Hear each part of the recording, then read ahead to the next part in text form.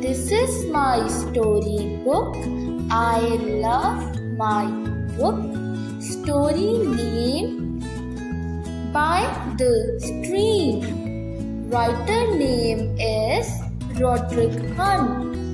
Four characters Mom, Dad, Biff, and Kipper. Mom and Dad sat on the rug. The children played by the stream. Biff went on the bridge. They dropped sticks in the water. Kipper could not see.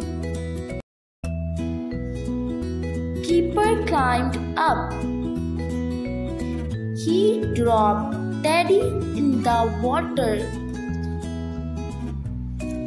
Get Teddy, said Kipper. Biff could not get Teddy. Get Teddy, said Kipper. Mom could not get Teddy. I want Teddy, said Kipper. Dad could not get Teddy. Dad fell in. Splash! I am a frogman, said Dad.